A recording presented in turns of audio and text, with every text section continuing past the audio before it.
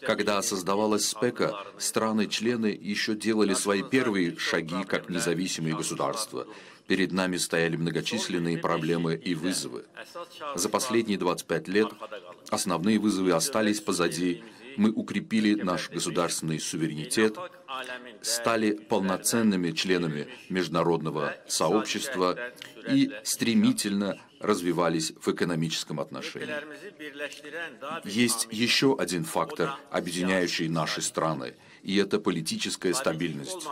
Если нет стабильности, то ни о каком экономическом развитии не может быть и речи. Сегодня в различных регионах мира бушуют войны, конфликты и кровавые столкновения. В наших же странах царят мир, стабильность и спокойствие.